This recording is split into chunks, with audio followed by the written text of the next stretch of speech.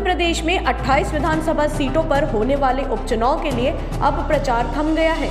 और अब चुनाव में अपना भाग्य आजमा रहे सभी प्रत्याशी घर घर जाकर मतदाताओं से जनसंपर्क करेंगे और अपने पक्ष में वोट देने की अपील करेंगे।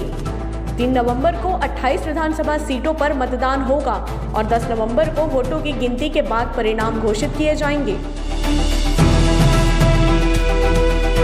चुनावी प्रचार के अंतिम दिन मुख्यमंत्री शिवराज सिंह चौहान, ज्योतिरादित्य सिंधिया, पूर्व मुख्यमंत्री कमलनाथ समेत कई कदावर नेताओं ने धुआंधार प्रचार किया।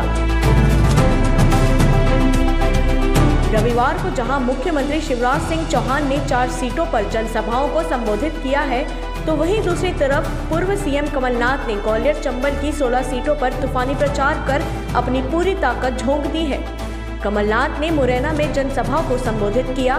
तो सीएम शिवराज सिंह चौहान ने हट पिपलिया और उसके आसपास के इलाकों में जनसभाएँ की।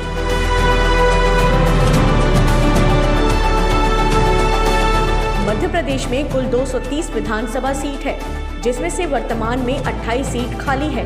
विधायकों के निधन के बाद तीन सीट खाली हुई है, जबकि 22 सीटों पर कांग्रेस विधायकों ने सिंधिया के समर्थन में इस्तीफे दिए थे। और कांग्रेस के तीन और विधायक ने विधानसभा की सदस्यता से इस्तीफा दिया था।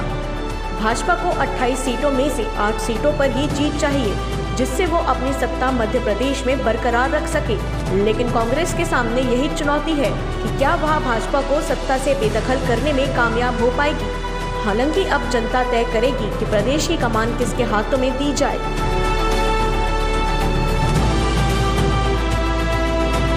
रिपोर्ट, रायपुर।